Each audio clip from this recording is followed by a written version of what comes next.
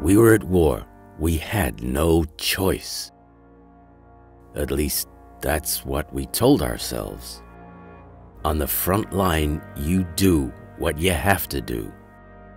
Could I have changed his mind? Persuaded him? Perhaps. But could I have done it in time? History is something in the past which is judged by the present. I replay that moment in my mind every day. And every time, I come out with the same conclusion. Someone had to take charge. And that someone was me.